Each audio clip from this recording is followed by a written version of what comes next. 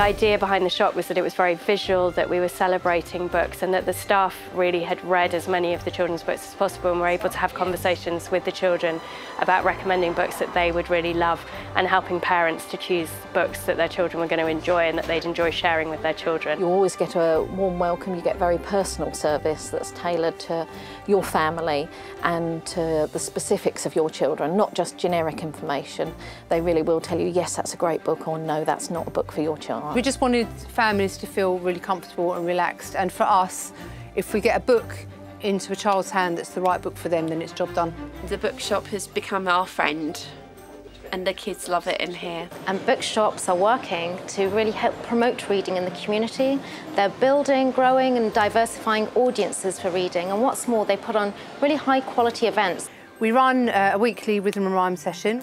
We get authors in, two book clubs a month. We try to make as many things as possible free or very, very cheap, just because that makes it more accessible for families. And we, we were very keen to be part of the community rather than just a business. Bookshops play a really important role in promoting reading for pleasure, particularly in schools, in communities, targeting children and young people, and that's important. The shop front really is just a small part of, of all of the work that goes into this between the festivals, the school book fairs, the outreach, the author events. So we started the festival here and the gallery have supported it by giving us the space and it's free to all schools on delivery. It's a great opportunity for the kids that we work with to meet new authors and to be inspired to read. Reading for pleasure is a really big thing with the new curriculum this year um, and a love of, uh, of, love of reading is so important and this festival promotes it hugely. All of the recent studies have shown that children who read for pleasure have got a better chance of achieving higher GCSE levels, of going on to university, regardless of their socio-economic background. So reading for pleasure is hugely important. That engagement with the outside world that you get through books makes a, a, massive difference to children's lives.